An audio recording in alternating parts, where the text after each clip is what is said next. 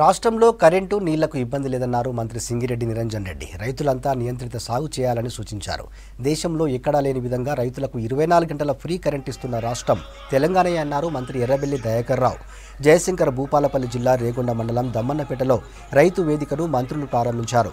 ఢిల్లీలో నిరసన తెలుపుతున్న రైతుల్ని బీజేపీ ప్రభుత్వం పట్టించుకోవడం లేదన్నారు మంత్రులు.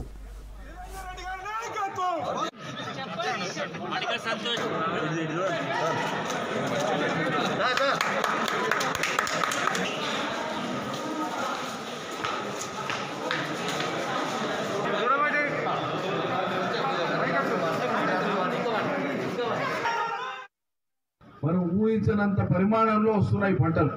ఎంత వస్తున్నాయంటే పోయిన సంవత్సరం యాసంగిలో వచ్చినటువంటి వరి భారతదేశం మొత్తంలో ఎఫ్సిఐ వాళ్ళు కొన్నటువంటి వరిలో యాభై ఐదు శాతం ఒక తెలంగాణకి వెళ్ళి వచ్చింది వాళ్ళ కొన్న వరిలో మరి ఇంత మొత్తం పెద్ద మొత్తంలో పంట పండించుకుంటూ పోతే రేపు ఇవి కొనేటోళ్ళు ఎవరు? ఈ వాడకం ఎట్లా ఇవ అటు- అటువంటి వాటికి జవాబులు కనుక్కోనికే ఏం చేస్తే సరిపోతుందో ఆలోచన చేయనికేనే ఈ రైతు వేదికలు కలుగుతుంది. కానీ ఈ రోజు పరిస్థితి మనం ఒక్కసారి విశ్లేషణ చేసుకోవాలి.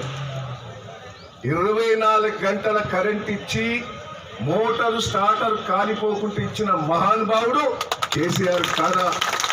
రైతులకు ఇరవై నాలుగు గంటల కరెంట్ ఇచ్చి మాఫీ కరెంట్ ఇచ్చిన రాష్ట్రం ఎక్కడైనా ఉన్నదా అనేది మీరు విశ్లేషణ చేసుకోవాలి.